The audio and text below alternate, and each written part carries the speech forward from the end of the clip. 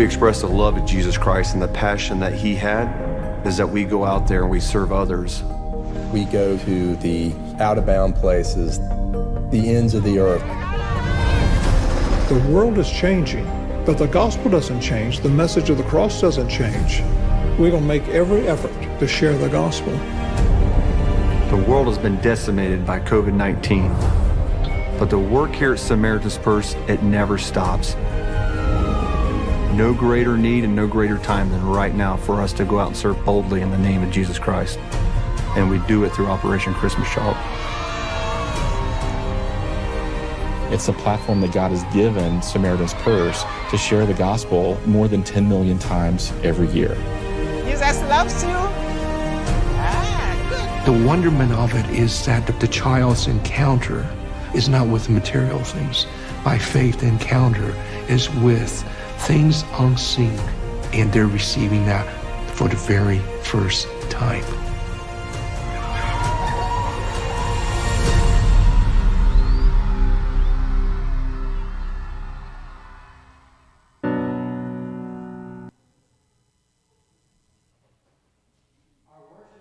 today with Veterans Recognition, honoring what I was raised to call Armistice Day, 11 11 11. Go to the Lord in prayer. Dear God, we thank you for our veterans, the men and women who are serving at home and abroad to protect us in this country. We thank you for their integrity, humility, service, and leadership, and their sacrifice. We thank you for their generosity in service and their willingness. We ask that you draw them close to your loving, protecting hands of grace, they and their families. We ask that you bless them with health and keep them safe. Bless their relationships, their families, their finances, and their future. We pray this blessing upon the lives of all of our veterans, those who serve us, even today in the air and on the land and upon the sea. Uh, Amen. I ask all veterans, active, and those who have retired from service to please stand that we can recognize you today and their families and give them recognition.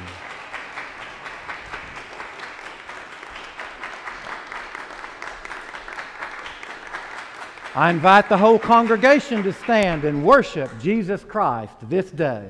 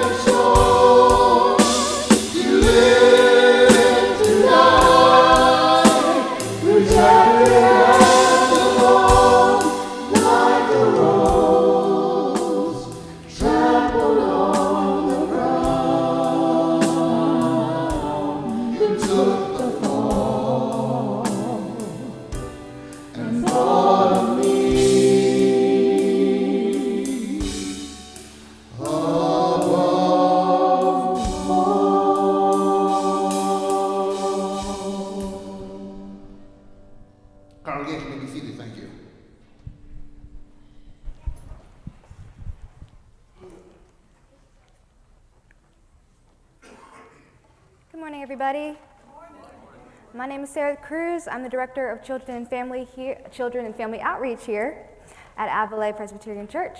I have a couple of announcements for y'all. The first being that we have a youth event today in the gym after Sunday school.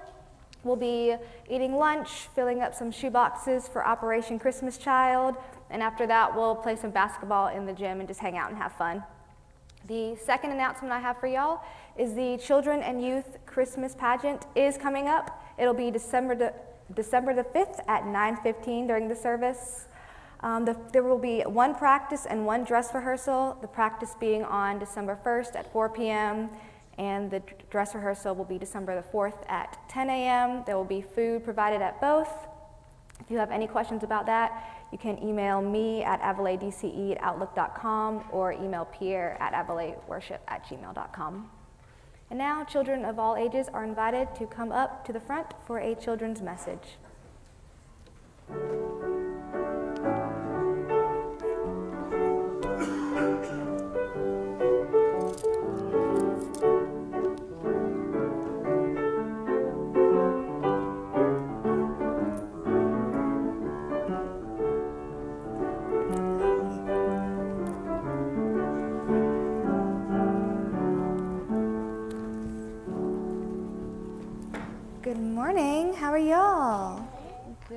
Glad to hear that.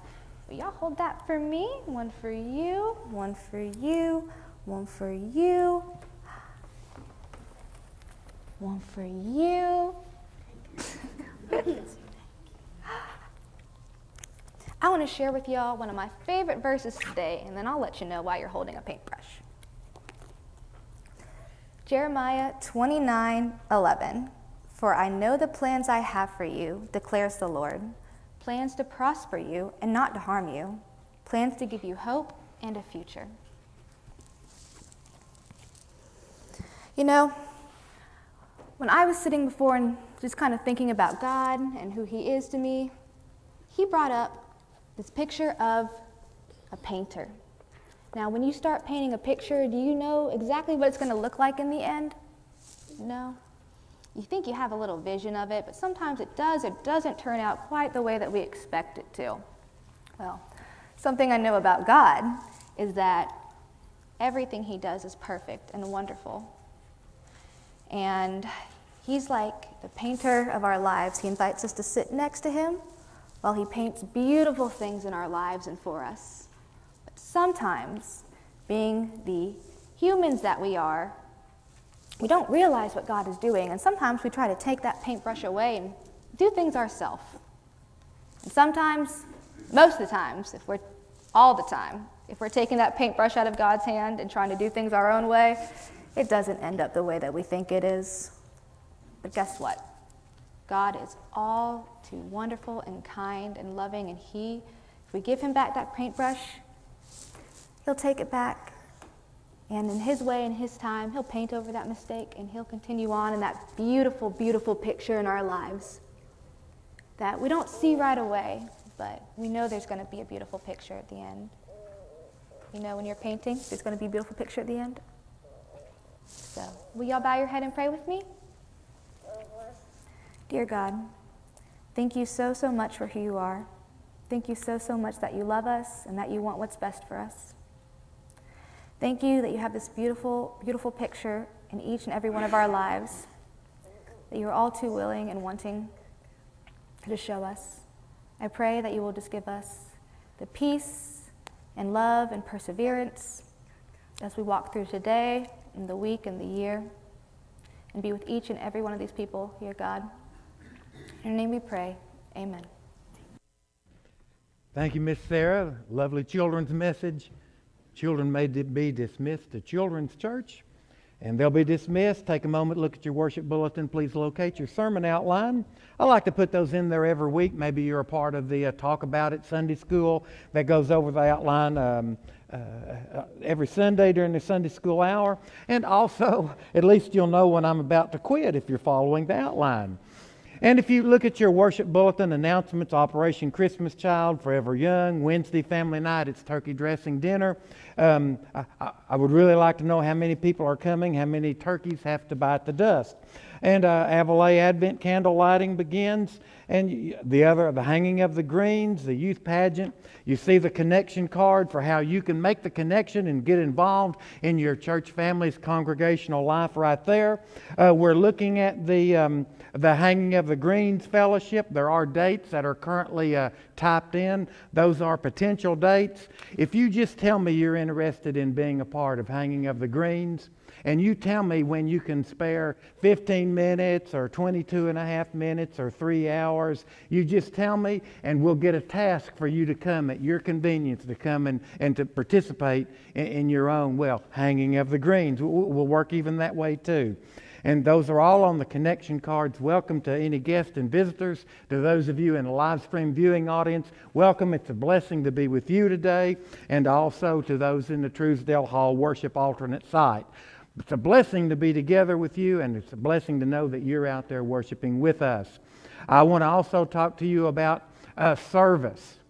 Service.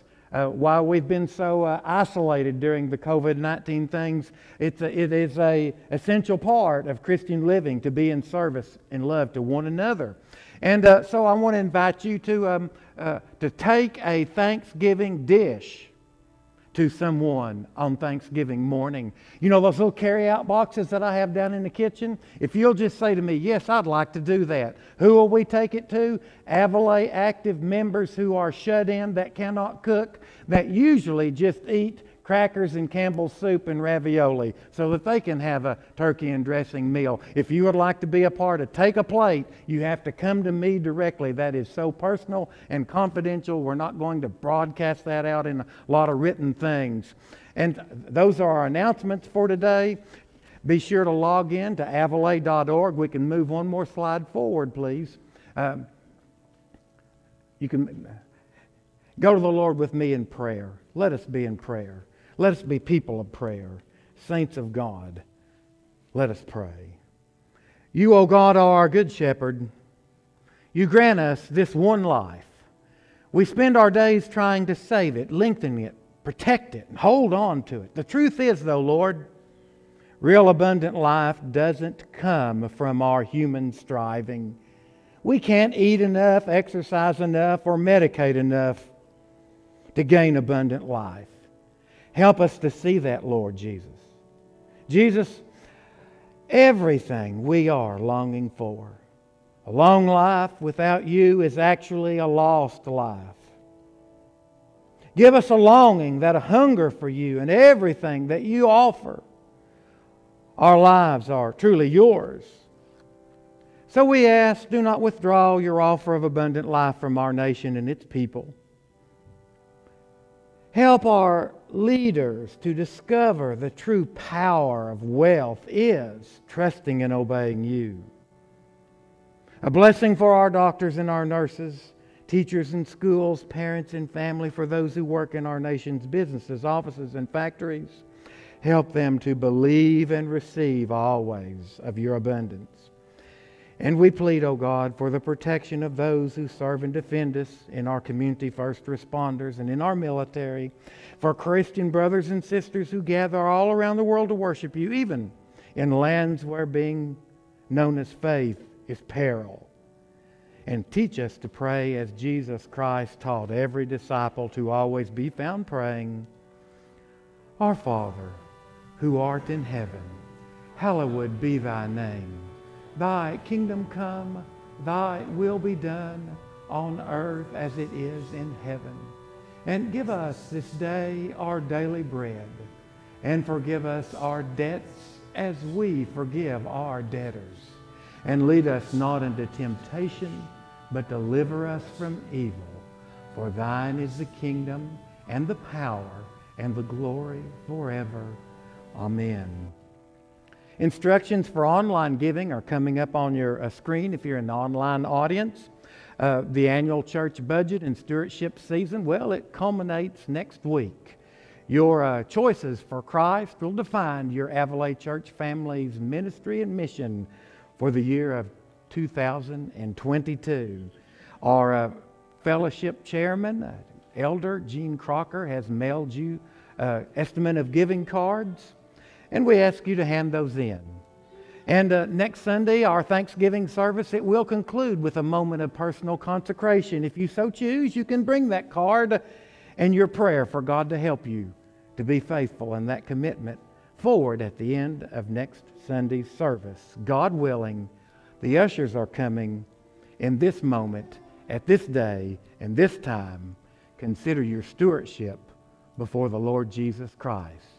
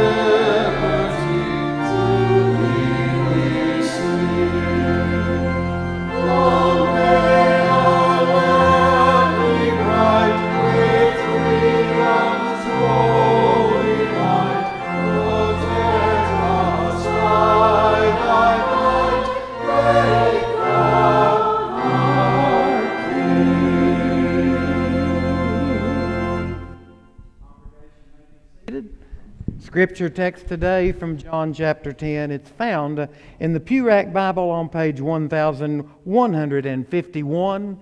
We're at week 10 of 10 of a sermon series from this fall called God's Glorious Promises. This is week 10, the greatest promise at all. Christ, He promises you abundant life. Hear and heed God's will, God's word for you this day. John 10, beginning with verse 1.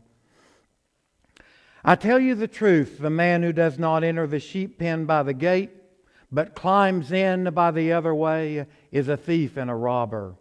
The man who enters the gate is a shepherd of the sheep. The watchman opens the gate for him.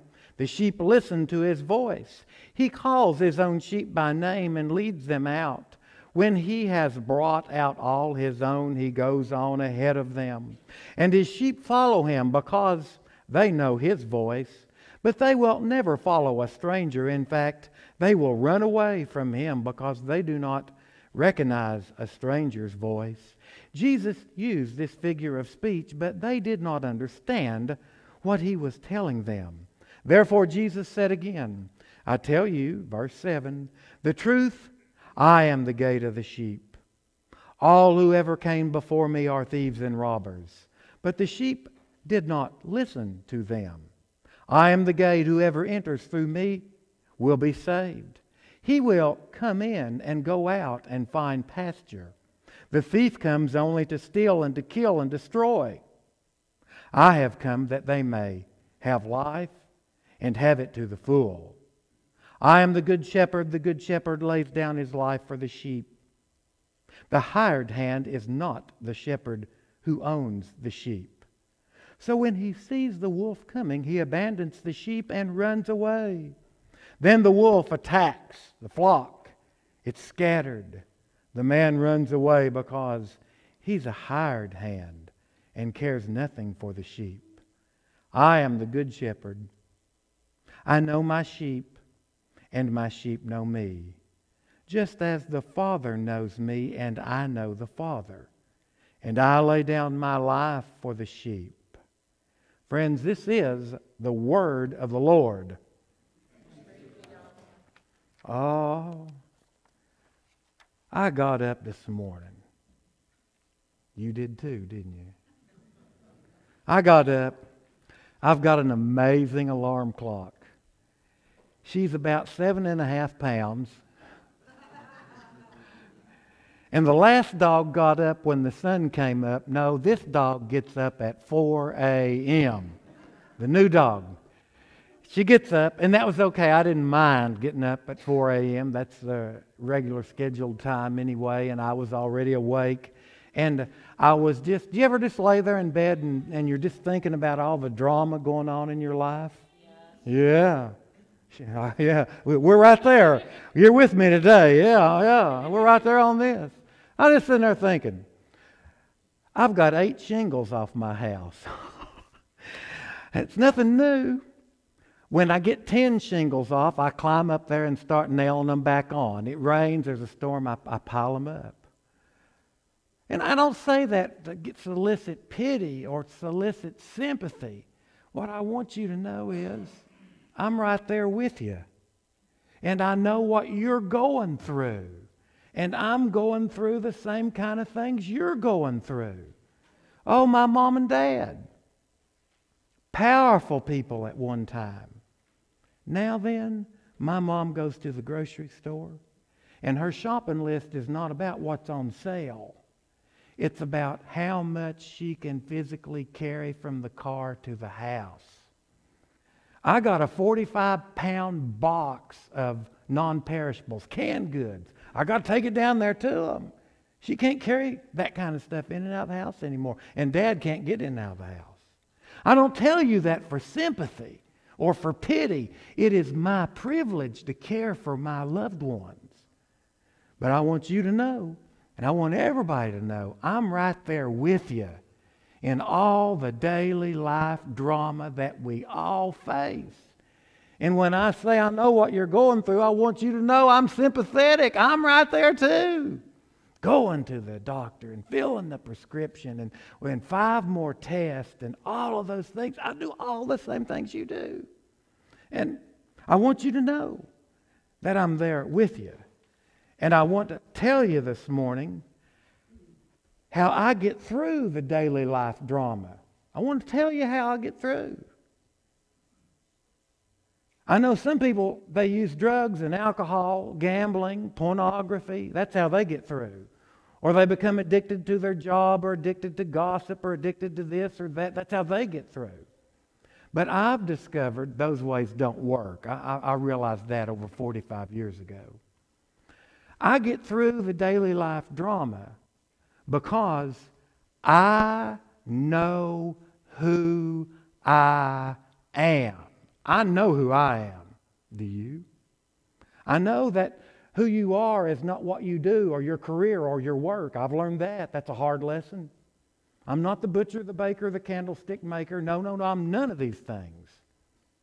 I know who I am because I know I am a child of God, created in the image of God, purchased of God through the sacrifice of the Jesus Christ, headed for eternal life with God forever. I know that I am a follower of Jesus Christ, and that's how I get through the drama of the day.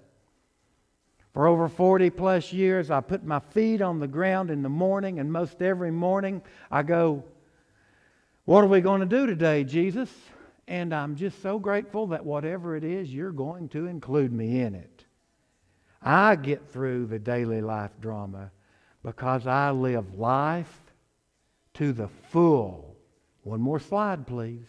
I live life to the full.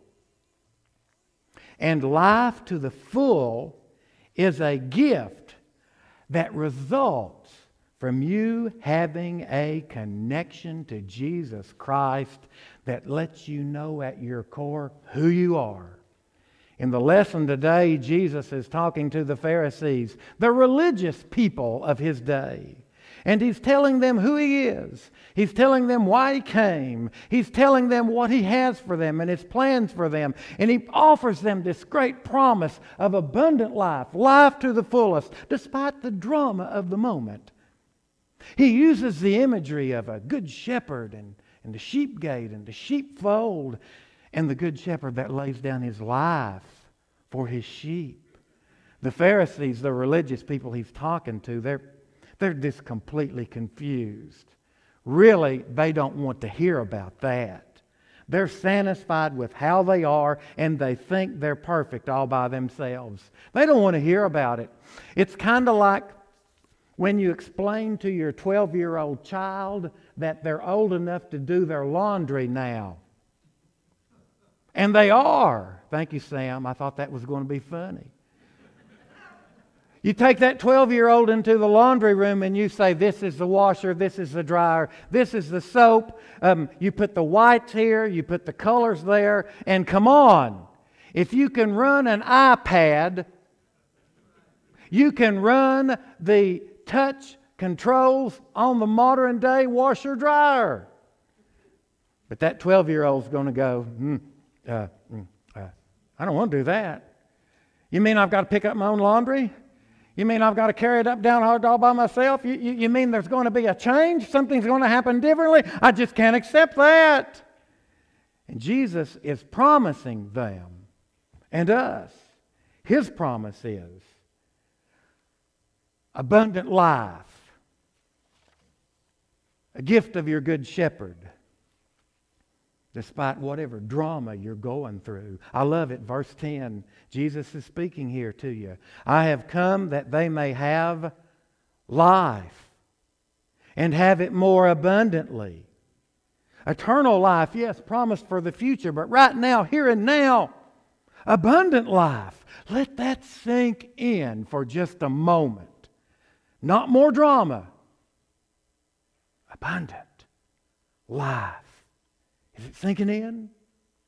You see, we're not promised a life without pain or a life without conflict or a life without hurt. We're not promised a way to walk with Christ that's without drama, for his walk was the most dramatic of all. We're not promised that we're going to get everything that we want, that we're always going to have perfect health and perfect uh, relationships and perfect finances. You see, a full life is not a cluttered life. A cluttered life is just a mess. And Jesus promises something more than clutter and circumstances. He promises you a quality of life. How can I say it? It was on or about December the 6th, 1996, the best I can remember. It was O'Hare Airport, and I was at a, a church conference. And December the 6th, if you know me, any, that's my son's birthday. I had to go to this church conference. But I had an early flight out, and I'm going to get home. I'm going to be there to be with the son, to be with my bride, to be there at the birthday party. I'm going to get there. The conference is over. Did I mention it's December? Did I mention the airport was in, oh, was in Chicago? Do you think the plane was on time? We're waiting. Would you like to go to Baltimore? Or New York? No. You get me to Atlanta. I'll walk from there. And you know, finally, finally, after a couple of hours, Dr. Van Meter come to the whatever desk it is, like you know the principal calling you in for a talk, and um, I've got a seat arrangement for you, but you, we're going to change the seat arrangement. And I'm going, it's going to be a B, isn't it? It's going to be a B. Here it comes. Six foot one, 240 pounds. You're going to stick me in that middle seat, aren't you? I knew it.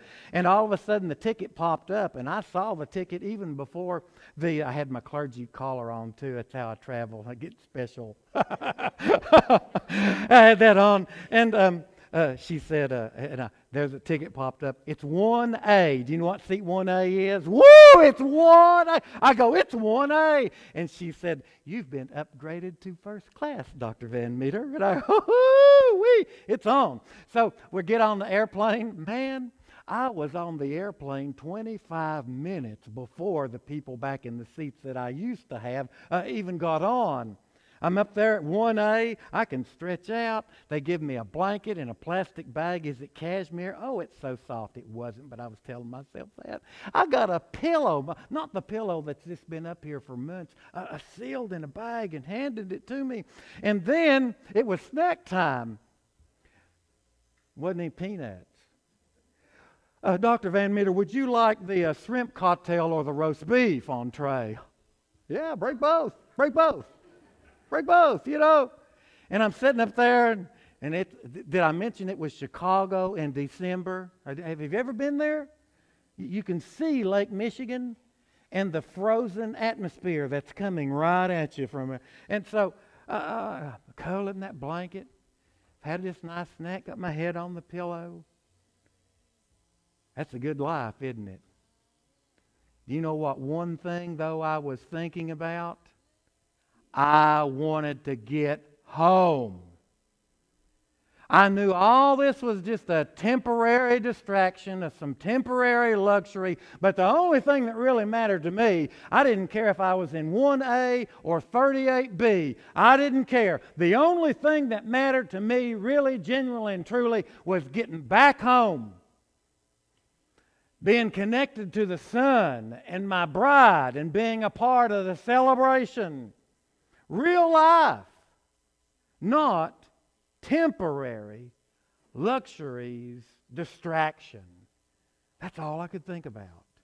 I knew that it wasn't long before that blanket was going to be put in a trash bag, and that pillow was going to be put in a trash bag, and that shrimp cocktail plate was going to be put in a trash bag, and that plane would land in Atlanta, Georgia, and it would be out in the Atlanta, uh, what is that, county incinerator and all burned up.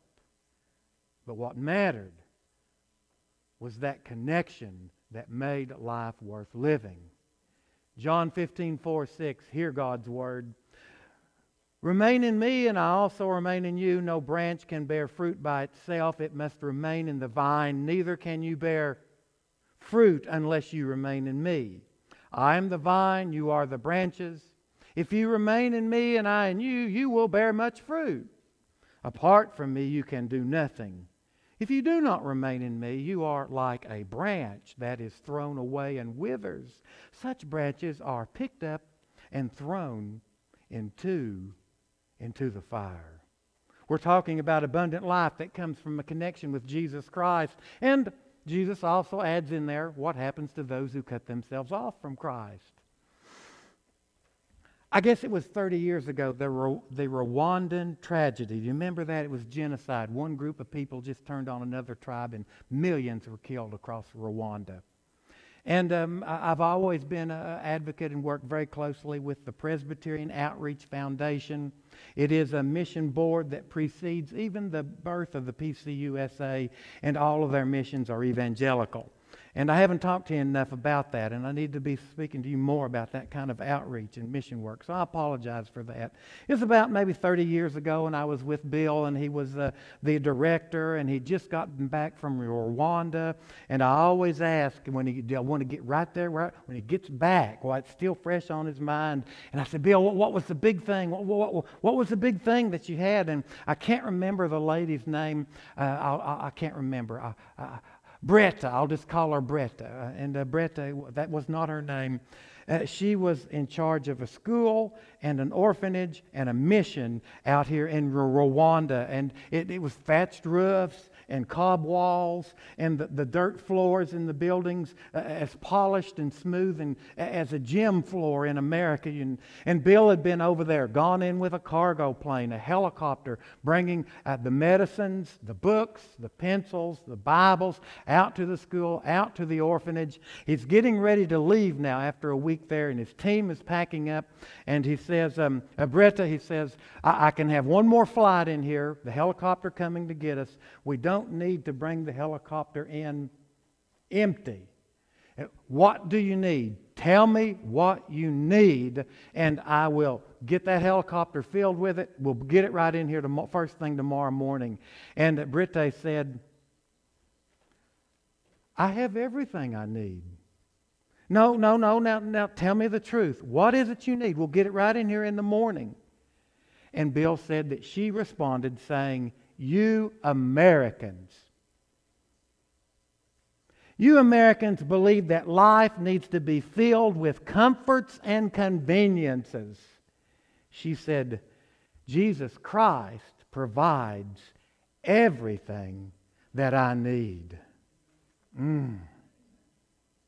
And Bill said, he almost, he, I feel his tears right now. He almost cried when he told me this story. And he said, In that moment, through my Western eyes, I saw her as lacking everything. But through her Holy Spirit filled life, she saw we Westerners were the ones who were truly in, in need. I'm talking to you today about a real living connection with Jesus Christ in your life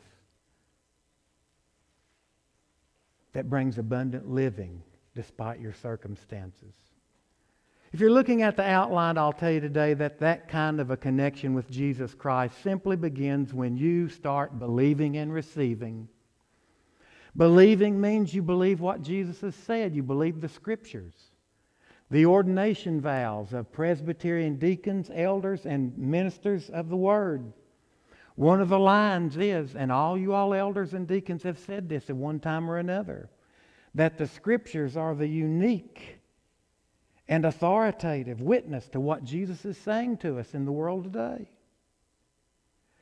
That moment when you just finally, as a believer, cross up from all the other but ands and this and that, and you just say, okay, I believe what Jesus said. I hope you have that moment. And you have to be in the scriptures to know what Jesus said to you. You can't just go by what somebody told you Jesus said. And you come to that moment where you just decide that I'm going to believe what Jesus said and I'm going to receive the life that He has for me. And that's the beginning of that relationship that commitment that is, a, well, that is um, abundant life. John 1:12 says, "Yet to all who did receive him, to those who believed in him, his name, he gave the right to become children of God." Believe and receive. Corporations and consumerism, they have all these gimmicks to up their sales. They, pl- they, they pray on the fact that all of us need to feel like we belong to something bigger than ourselves. Have you noticed this? Make a lot of money doing that.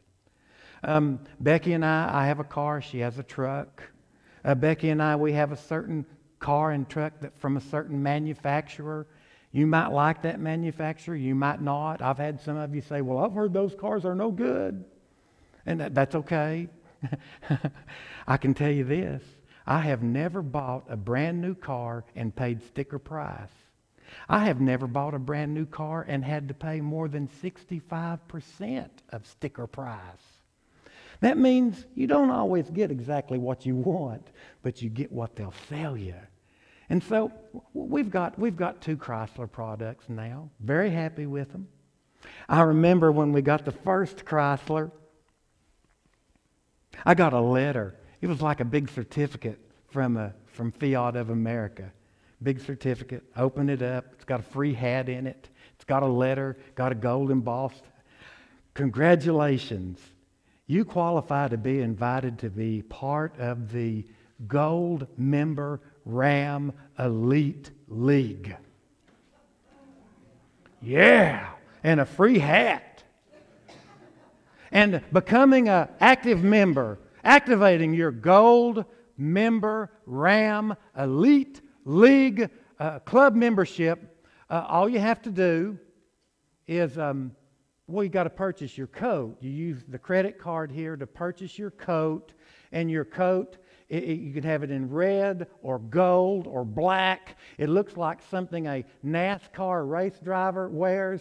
It's got Ram and it's got Elite League and, and a lot of writing on the back. Kind of a clown suit. Got, if you like that kind of thing, you know, don't don't jump me in the parking lot. But but I, I I saw that you know, okay, they're trying to maximize their profit by by get, by helping us to belong to something larger than ourselves. Yet, Jesus Christ, your commitment to Him, the promise of abundant life, it all begins when you recognize that He is what you need and that initial journey of believing and receiving in Him. Second thing, your life giving connection to Jesus Christ expands then when you move from believing and receiving to trusting and obeying. It expands that relationship. My first uh, uh, office as an officer of the church, um, I, about 1980, I guess it was, or 79, uh, I was asked at Becky's church. We were newlyweds. Yes, she got me into church. And um, uh, uh, they invited me to become the chair of the evangelism committee. I was so honored right off, they're going to invite me right in, and I'm going to be an officer of the church. And isn't, isn't, isn't that something? Of course, that was before I went to seminary and realized nobody wants to be the chair of the evangelism committee. Do you know the name of the last chair of the evangelism committee here at Aveleigh? Anybody know? Lewis Davis. Nobody wants, I don't want to be on that. Put me on something that has money or power. But no, I don't want to be on the evangelism committee or at least something that has food. And I didn't know. I hadn't been to seminary yet. And so I, I, didn't, that was before I was taught by the church that an evangelism committee comes on Monday night at 7 o'clock for 90 minutes and talks about outreach. That was before I learned that. So, about 20 people in this church, and they said, Well, when are we going to have our meeting? And I said, Well, I don't know. What about 4 o'clock Saturday afternoon? Oh, no, no, no. We got this and this and this and this and this and this. And so half of them quit right off. The other half was just kind of seeing what this new guy was going to do. Give him some rope, he'll hang himself. And we got out there the church parking lot 4:30 on a Saturday afternoon. What are we going to do? Where are we going to meet? I said, I got these flyers and you go to that neighborhood, and you go to that neighborhood, and we'll all go door to door. We'll invite people to church. About eight of them stayed. We did that for several months. It started to get cold, and we got started. Eh, we covered the, the nearby subdivisions, and so we started going to the hospital to see those who were sick on Saturday afternoon. And we were up there one Saturday afternoon, Blount Memorial Hospital, Maryville, Tennessee. I was born in this hospital, and um, we go see this active member of the church. She's ill, and there's about six or eight of us in our room and everybody's talking at the same time. Nobody's listening. Everybody's uncomfortable. And I, I just had one of those moments, inspirational moment, inspirational moment. I just recognized it was a God moment. I recognized that we were not doing anything helpful. We'd probably been better off. She would have been better off if we'd just stayed away. I took my group out, thanked them, sent them home. I drove a big I was in business. I was a businessman. I drove a big Cadillac, sedan DeVille. And uh, so you know that I'm not lying to you. I literally got down in the front seat floorboard of this enormous car and I prayed to God that afternoon. I prayed, Lord Jesus, if there is anything that you can show me to do, to do this thing called ministry you've, been, you, you, you've trusted me with, you show it to me right now right now today, and I will do it. Have you ever got to business with God in a prayer like that? Those are the prayers that gets answered. I pulled out of that hospital. I drove about 150 yards, the entrance to Maryville College familiar place, my hometown. I've walked through that entrance as a child home from elementary school at least 800 times. My parents were adjunct professors there. My mother had her dancing academy on those grounds. Very familiar location. I pull out of that hospital immediately after this prayer, and there is, for the very first time in my life, at the front gate of that college, a 45 foot tall, three dimensional pole and linen white cross, and the fabric was flapping in the breeze. And it said across the front of it, Reunion. I later found out it was there because it was celebrating the birth of the PCUSA, the reunion of the northern and the southern denominations. But for me in that moment, that was God. And God was answering my prayer. And it was, You ask, I'll tell you. You get your education and you go to seminary and you'll be ready for ministry. And I did. I went to the registrar the next day and I told him what my plan was. And most people thought I was nuts. Within six weeks, a chance meeting of another individual. Hey, guy, I was going to invite him to church. You're new in town. Hey, guy, you know, and what do you, what do, you do? He said, I've got a small business loan. I want to open up a bakery. I said, I know a real estate agent that'll sell you one. The family business was sold. All the money went to take care of my grandmother. I was free of all family responsibilities. Becky and I were absolutely penniless. We had nothing. And I said, Becky, are we going with your music career or are we going with this ministry career? And Becky said, Trust and obey. I'm following you all the way. And she's been with me ever since. And um, within three, I, I would walk the halls of Anderson Hall, Maryville College, building was built between 1812 and 1820 for the education of Presbyterian clergy generations ago with the American westward movement. I walked through those halls, old halls. I was given an office in that hall, and I realized that there was business and chemistry, and there was um, uh, uh, other sciences, and people were preparing for much more, well, um, financially rewarding uh, uh, opportunities in their life, but I knew, I always knew, and I still know this today, there is nothing more important than you can do than to bring Jesus Christ into our lost and dying world. I hope somebody at least whispers amen.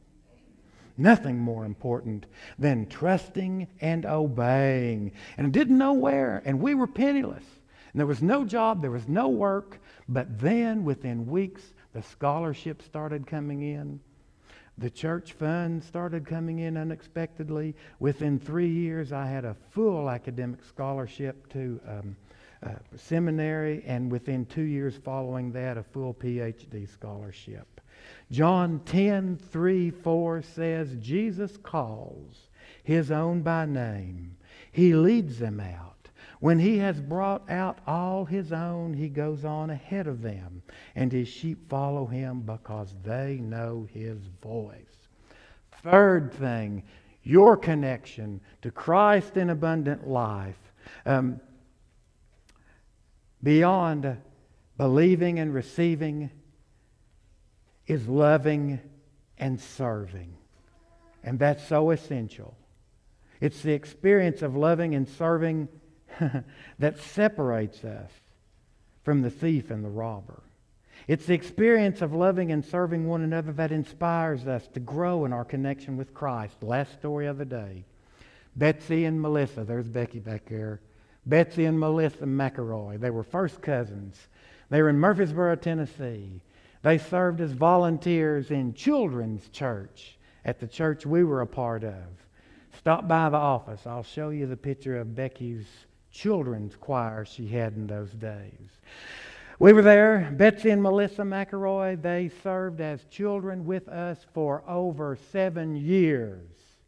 Every Sunday, 52 weeks a year.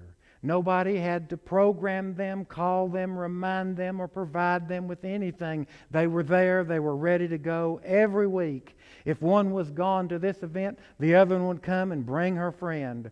Finally, Becky and I, we announced, well, God is moving us on. I get little notes. Some of them are glad, some of them are sad, some of them pretty hateful. But you know, I opened up Betsy and Melissa McElroy's notes, and she wrote, Thank you, Pastor Mitch, for allowing us to serve our loving congregation by doing children's church all these years. I feel we have gotten a front row seat to what God is doing in the lives of our children. It's so inspiring to us, fulfilling. Nothing could ever replace our days with you, Becky, and our children's church. The connection to Jesus Christ is experienced through loving and serving. Many of you here today, well, I don't know, I won't say that. Some of you here today, you've been watching your watch. Everything I've said you won't remember three minutes from now. And that's okay.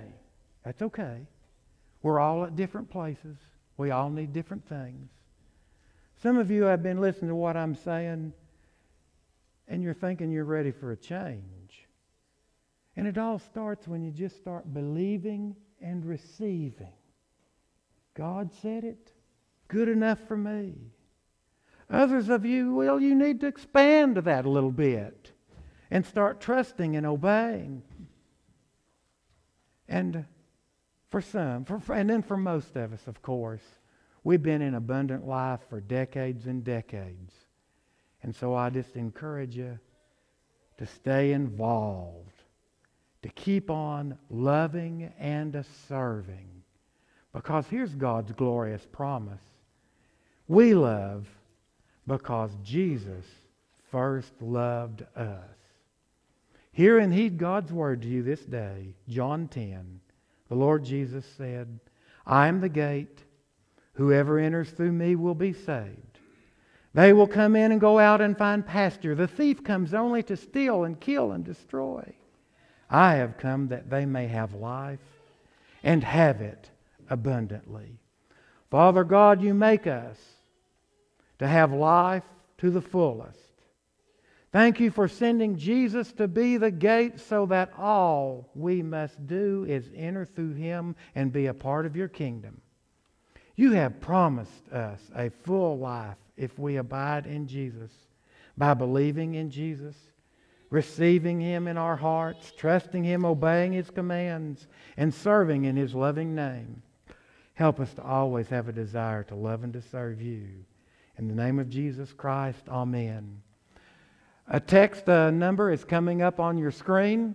If you need to make an appointment with me, if you want to know about membership or baptism or an encouragement for the afternoon, a prayer request, You let me know that this afternoon in a text message. I'll get back to you before the day is over. When the expectations of your life are starting to fall short, and when your love of stuff and things and comfort really leaves you feeling empty, good news. You're ready for God's glorious promises. Amen.